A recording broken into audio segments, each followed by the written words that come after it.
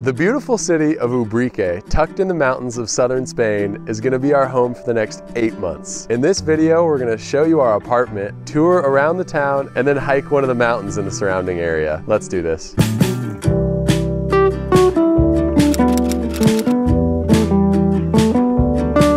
Now it's time to head downstairs and give you a tour of our apartment.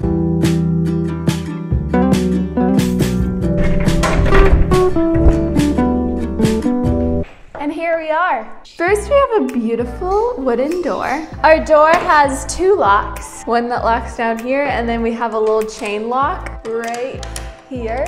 Then we have our shoe area and a nice little table. We have a nice fan because our apartment does not have air conditioning. We also have a nice wooden dining room table with four chairs. The kitchen includes a huge fridge that is big enough for all of our food. And we also have a nice new washer that also doubles as more counter space for our nice cutting board. What a luxury because we didn't have a cutting board in our last Airbnb.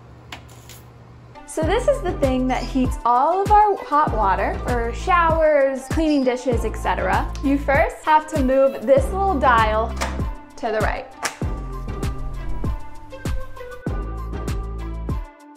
Next, we have the bathroom. We have great sink space and we also have cupboard space for all of our toiletries. And with the mirror, we have a light. Then, because we're living in European luxury, we have a bidet. What is a bidet, Reyka? You can look up how to work a bidet. And our nice toilet with a nice little flusher right here you pull down. And then we have a shower. Now we're gonna move on to the living room. We have a nice little couch. It's very comfy. And a light right here. We actually just got this recently installed and we made it a little bit higher because we need it to be height friendly for Wyatt. We have this beautiful platform with a TV. Now we're gonna go to me and Wyatt's bedroom. The best part about this apartment is its natural light. Very calming and nice. We have this big bed. We do have an orange comforter. It was the least expensive comforter at the bazaar. And each of us have our nightstand with drawers and we have huge wardrobe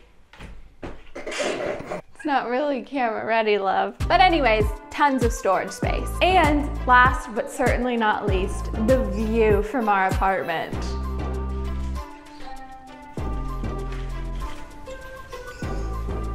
And that concludes our tour.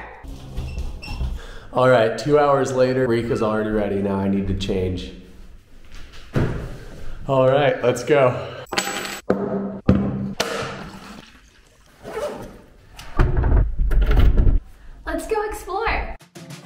Haven't noticed, almost all the buildings of Ubrique are white, and they do this to keep the heat down during the bright summer days.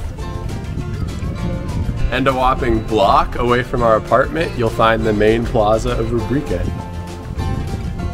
The plaza has to be one of the most beautiful places in Ubrique. Behind me is the town hall, and right over here is one of the main churches. And there's even a cafe over here where people eat during the day. I love this place. You'll have kids playing soccer games, a bunch of people just sitting on the benches relaxing during the day. One of the newest things that neither Reyka or me have ever experienced before are these fountains and people will literally come and fill up their water bottles or take drinks like it's a drinking fountain all the time. Oh, I'm kind of thirsty. If only there was somewhere around where I could get some water. Oh, what is this? Yum.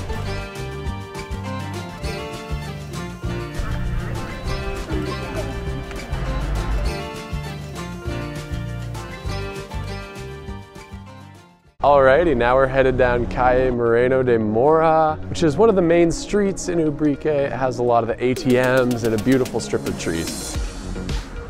And if you're thirsty, here's another water fountain. They're pretty much everywhere on the streets of Ubrique.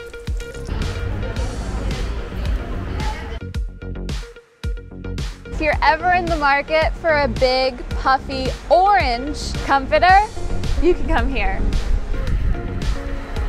And now we turn onto the main street of Ubrique or La Avenida.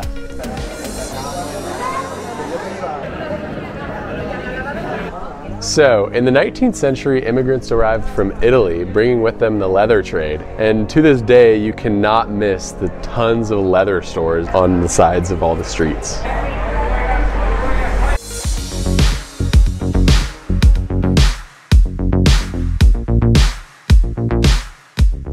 Yeah, it's insane, honestly. A lot of the leather coming out of Ubrique is used by famous brands like Gucci and Prada, all just from this little town in southern Spain.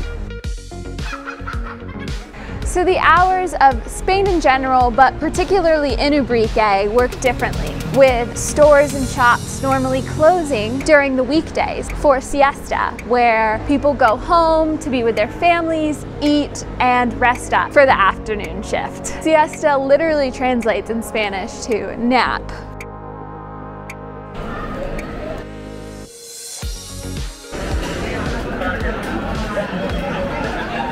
All right, next we're going on a hike.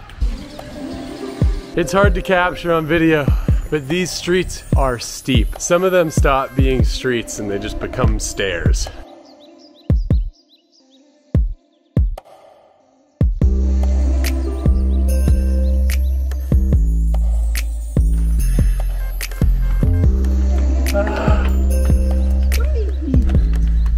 All right, I'm gonna give you a sneak peek of the view.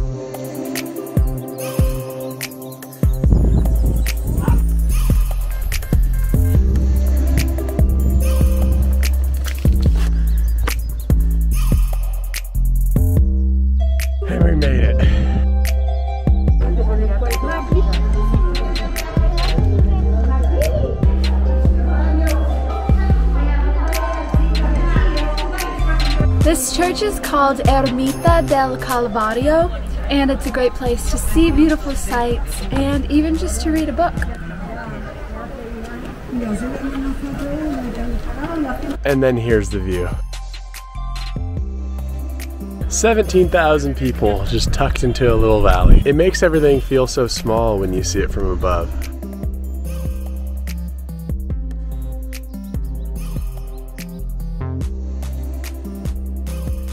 Right, the sun went down, and that's where we're gonna end the video. Hope you enjoyed Ubrique. And if you wanted to stay tuned as we try to go to 50 countries, you should hit that subscribe button. But anyways, peace out, guys.